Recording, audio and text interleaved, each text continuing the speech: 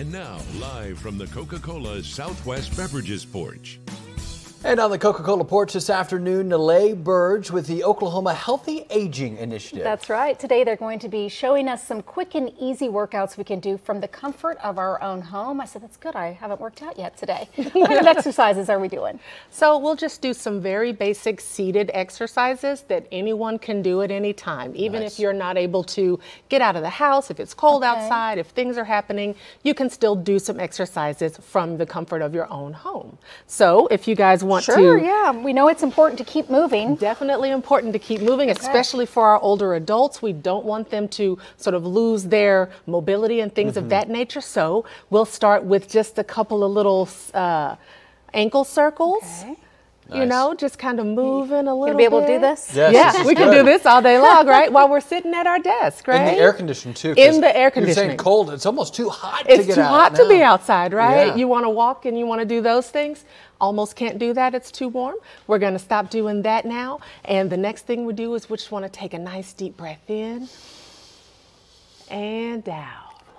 Does closing your eyes help? I think it mm-hmm. does. It does. Helps you focus. I think so. That's really good. And then we'll just do some shoulder rolls. Okay. You know, just kind of loosen up those shoulders. Just kind of roll Okay. them back.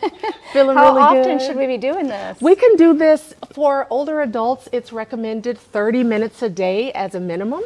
Um, and you can break that up. You can go uh, 15 minutes in the morning, 15 minutes at night. now you're going front. Yeah, and now we're going front. Yeah, we're gonna we're gonna we're gonna cha- change it up here. And how long are we doing this for? Um, we can go five minutes for each one, or you can just count it out. I can go one, two. I can count it out. I can go one. shoulder's tired. Two. I know he's already tired. Oh my goodness. And then the last thing we're gonna try is just some seated marching.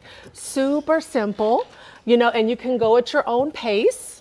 You can go fast. You can go slow. You Can be competitive. Yeah, exactly. Do it as a race. Yeah. Turn on some music. I like this. So Yeah. fun. And for older adults, it's really important to kind of keep your body moving um, because we I think it's really important for uh, our elders to age in place, meaning they don't have to go to an assisted living facility. They can stay in their own homes as long as possible if we stay moving. Nice. Real quick, where can folks get resources? They can go to www.ohai.org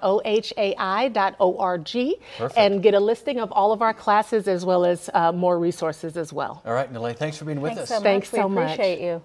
We will go ahead. All right, hey, if you have a community organization you'd like to see highlighted on the Coca-Cola porch, head over to news9.com slash porch.